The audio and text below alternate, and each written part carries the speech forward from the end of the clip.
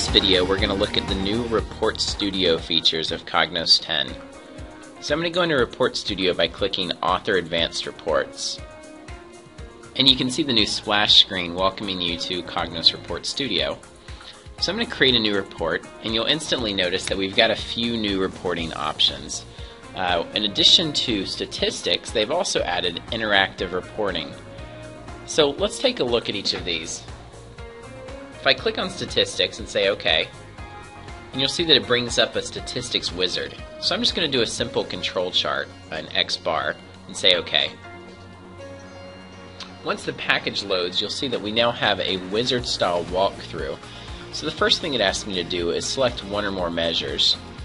I'm going to select measures from within my sales, and I'll look at quantity and revenue, and drag those to the drop measures area and choose next.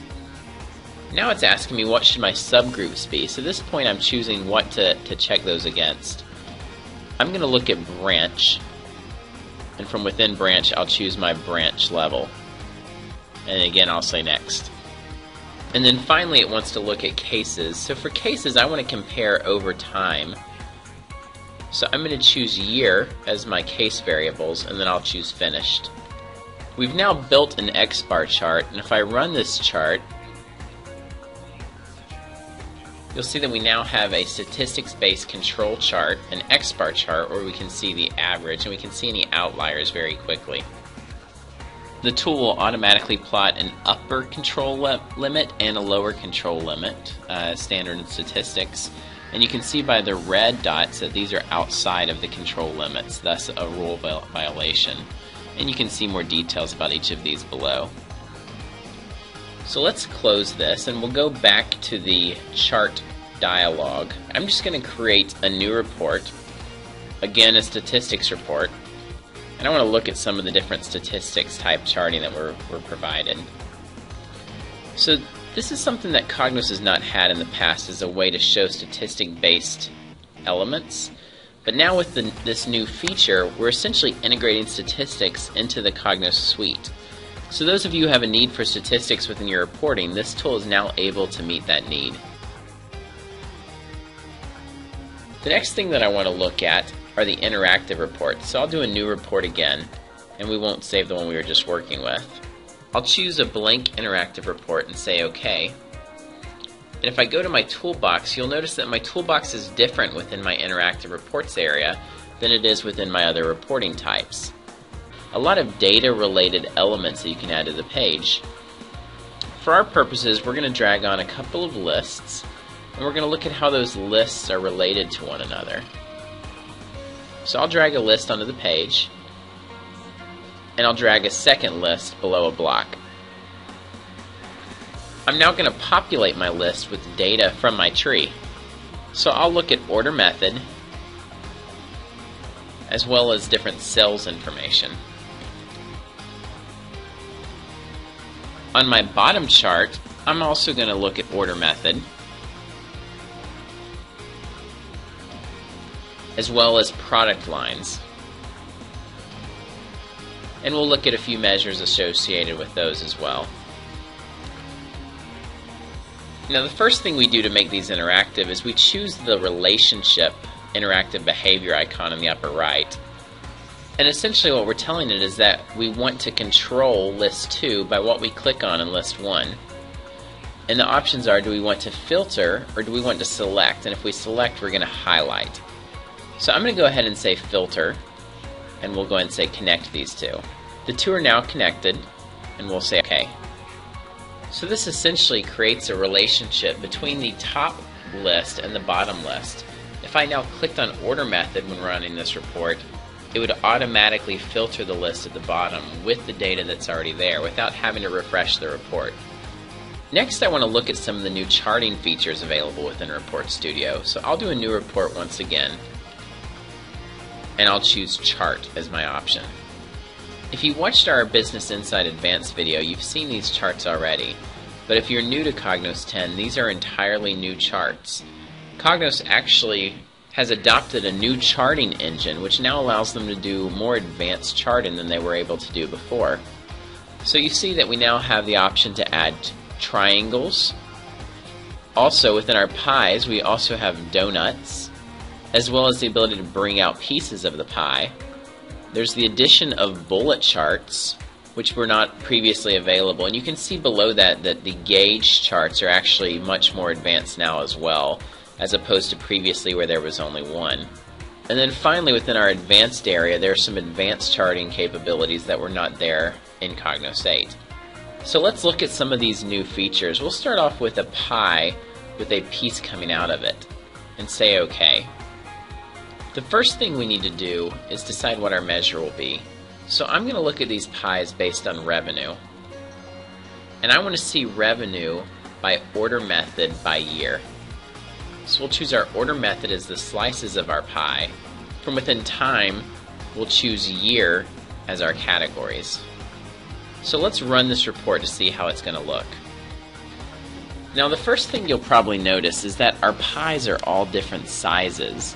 Whereas previously the pies would all be one size, this allows us to see even more information than we could before. With what we're looking at here, we can very quickly tell that in 2004, our revenues were lower than they were in 2005, 2006, or 2007, because the 2004 pie is smaller. And the new feature is this piece where you see the piece of the pie sticking out. Next, let's add a table to our report and start bringing in more charts. So I'll put a chart into the lower right quadrant. I'm going to choose a pyramid style cone.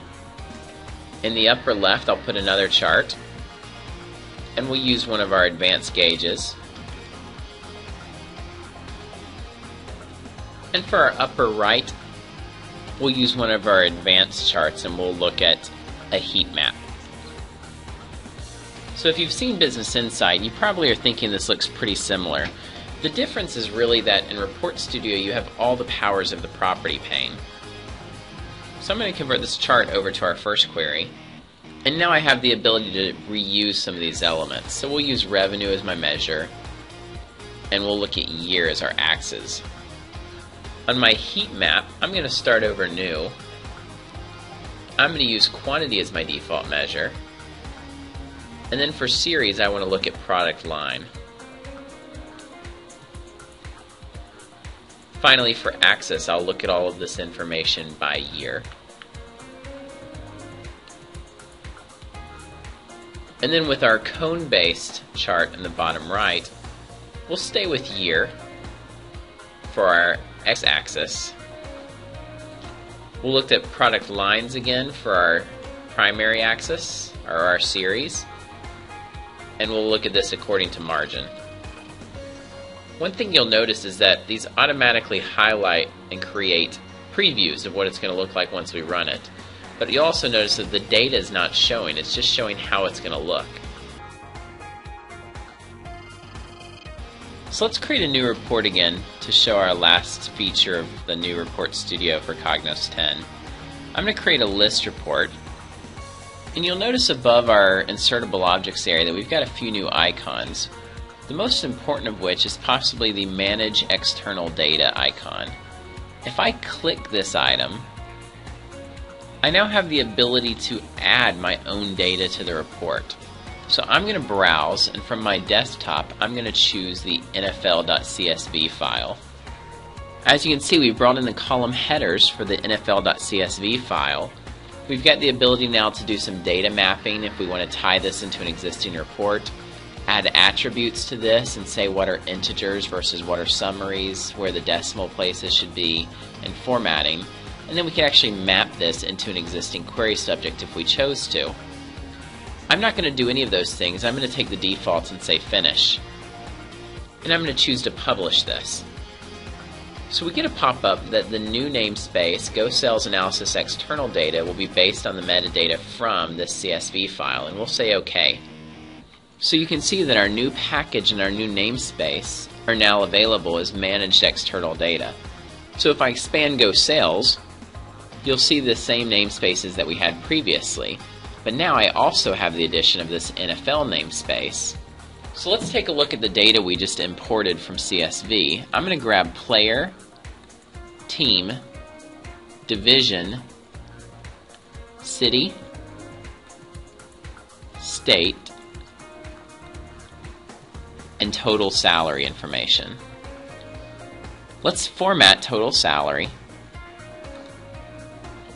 as currency with zero decimal places. And say OK. And then let's put a filter on state. By choosing state and hitting filter now, we get a pop-up similar to what you would see in Query Studio previously that lets us choose a state to filter on because state's what was highlighted. So we'll only look at Illinois and run the report. And you can see from our data that we now have a report from our CSV file of players who play for the Chicago Bears, which is in the NFC North in Chicago, Illinois, along with their salary information. Keep in mind, this data all came from an external data source that is sitting on my desktop. What this essentially allows the end user to do is bring in data that's not already modeled into a namespace or a package, and then add that data into their reporting environment. This feature was available within Series 7 Impromptu as a pick list or hot list, but it was never available within Cognos 8. As a result, many customers requested this feature, and Cognos has added it to meet the needs of those customers. This feature can be secured so that only certain users can add external data, and I believe that this feature is going to be extremely useful for many environments. So this concludes the Cognos 10 Report Studio demo. If you have any questions, as always, you can email sales at brightstarpartners.com.